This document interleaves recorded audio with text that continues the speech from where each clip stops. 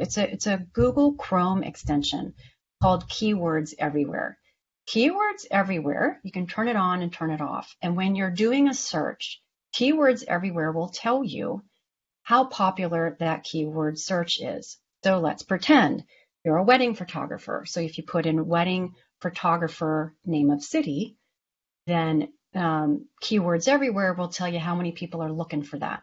It enables you to figure out the exact phrasing of your keywords. So that's something to experiment with and play around with. Are they looking for food, photog- food photography, name of city, wedding photography, or wedding photographer? Which one has more keyword searches? You can title your web pages alternatively. So you can capture keywords on one page and then something very similar on another. So, um, so you could make one page food photographer or wedding photographer, name of city, and then another page could be name of city, wedding photography, that kind of a thing. So, um, and another thing here I'm, I'm circling on my website, get your social media links down off at the bottom of navigation. Don't put them up in the corners. Those are hot spots. The last thing you want to do is entice your prospect off your website. So get your social media links down somewhere. So I always have it on the bottom of my navigation. We'll tip there. Okay, a few more SEO requirements. Make sure if somebody puts your name photography that you show up.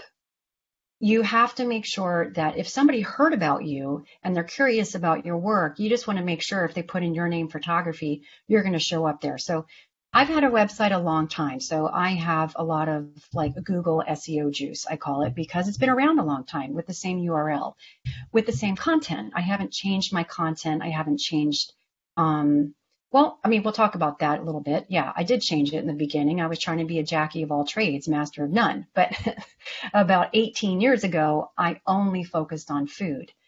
And then my SEO just took off. So now the Google bots understand, hey, this lady over here, she shoots food. And so when people do a search, they can find that. So there's what's called on-page SEO and back-page SEO. On-page SEO is everything you can visually see, the text, the images, and the videos. And then front or back end SEO is all what's called metadata. And these are more descriptions and more details that we can put into our website to let the Google bots know, hey, this website is about this and it really can help you with um, searching and things like that. So if you're unfamiliar with this and you're like, what is she talking about? Again, check out the SEO webinars here. There's several um, parts that they have a one like a webinar series that they broke out on SEO. Check that out. And also talk to whoever's hosting your website. They probably will have some information as well, specifically related to your theme or your builder where you can go in and they might even have some educational content for what to put where on the back end for your site as well. The way you name your images is actually also a keyword thing that you can do and use. Get more Google juice on that and um, uh, something called alt tags. So it's again, it's just another way of letting um, as, you know the search engines know what we have on our sites.